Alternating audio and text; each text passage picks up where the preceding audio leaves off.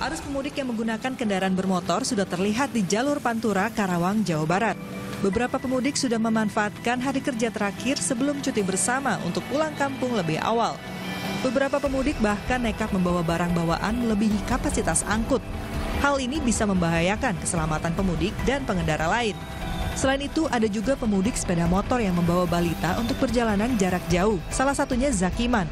Warga Jakarta Utara ini membawa istri dan anak balitanya untuk mudik ke Cilacap menggunakan sepeda motor. Mas juga bawa anak kecil, bawa barang-barang, nggak takut apa-apa mas di sana mas? Ya, kalau takut sih takut gitu. Cuma kan ya kita usahain hati-hati lah. Nah gitu. Iya. Istirahat dulu ya mas ya. Istirahat, bentar istirahat gitu. Capek. persiapan sepeda motornya gimana itu mas? Ya sebelumnya servis full sih. Oh, gitu. Ban ganti semua. Meskipun berhati-hati, berkendara dengan sepeda motor dalam jangka waktu yang lama membahayakan kesehatan anak. Orang tua harus bersikap bijak dalam memilih moda transportasi yang nyaman dan aman bagi anak. Iman Budiman melaporkan untuk NET.